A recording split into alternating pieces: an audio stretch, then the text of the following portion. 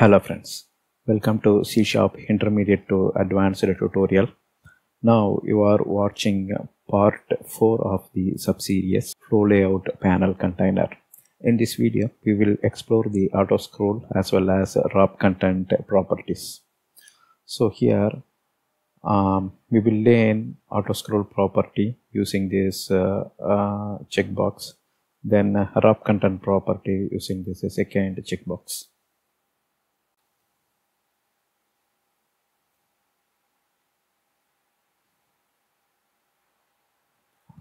So by default, the panel layout container will have this uh, wrap content or wrap controls. The property name is wrap contents that will be true. So it will be a Boolean property and the default for that is true. And by removing the check mark, we are setting the wrap content property to false. So to enable the auto scroll. First we need to set the wrap controls. I mean the we have to deviate from the default for the wrap content property. We have to set wrap content property to false. Then we should enable the auto scroll. Here if you see we enabled the auto scroll and you are seeing a scroll bar here. And the scroll bar is towards the left and the controls are in a single line. So if I move this scroll bar towards right here it is moved towards right. And you can see the contents are scrolled. So these are all the content in the scroll panel. And by comparing these two picture you can see how it moved towards left. So once the control moved towards left you will be seeing the uh, here only part of the control was shown. And once you start you are seeing this remaining portion of the control. So simply the auto scroll will place all the controls in single row or single column. By default the flow direction is left to right. Here first we are handling the auto scroll checked changed event. And in that event so this control we already saw we doesn't rename the control. This one is checkbox 1 and this one is a checkbox 2 so when this checkbox is in checked state here we set the wrap content property to true. Similarly when that is not in a checked state we set the wrap content as false. So flow layout cc is the name of this control. So here is our flow layout control. And that control name is here. That's what we are accessing.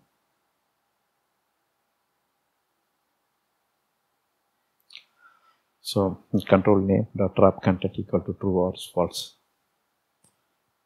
So that is checked based on this checkbox state. Next if you see here. After removing the check mark here we place a check mark in wrap control. So that's the default. And you can see the controls are wrapped towards the next line. That means there is no room to accommodate this control. So the size of the control will be like this. So there is no room. And the auto scroll also not enabled. So what happens? Uh, flow layout panel will wrap this to the next line. That's what you are seeing. And after that it places the radio button. Similarly when you start adding the control it will go like this. And when there is no room the control will come to third row. That's the wrap control. And if you see here checkbox 2 checked changed and this time we are using the auto scroll property. And we are setting it to true when the checkbox in checked state. When it is not in checked state we are setting the auto scroll property to false. So that's all here. Now we will go to the example and we will implement this. So we already know about this form design. First we will click this then we will go to property and we will double click this checked changed so one event is ready. Next we will create event for this also.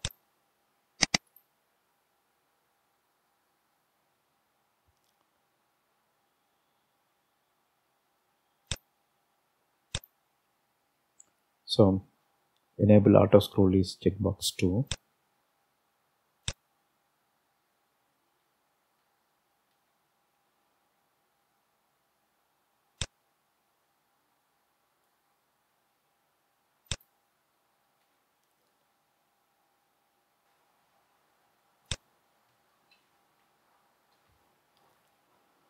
so in the form design you can see this is our checkbox 2 and the wrap control is a checkbox 1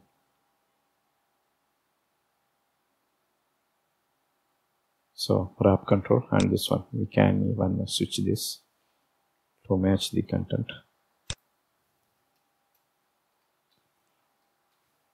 So that's all. We handled both the checkbox uh, check changed events and we based on the check state we uh, assign the boolean properties wrap content and auto scroll. Now let's examine this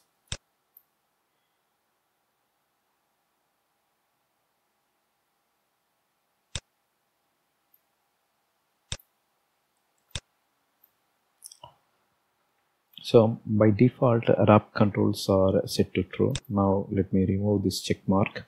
And once wrap control i mean the wrap content is false you can see all the controls are laid out in one row. But some control we are not able to see. And once you enable the auto scroll it will provide a scroll bar and you can scroll to see the other contents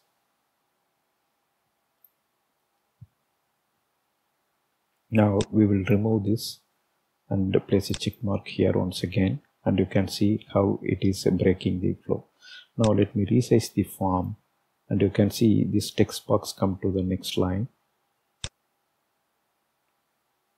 So now if I move further towards left there is no room for this text box and you will see two text box here in line 2 let me resize further and radio button to gone to third line. And you can see how it is arranging the control.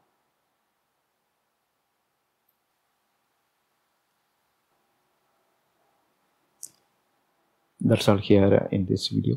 Thank you for watching. Bye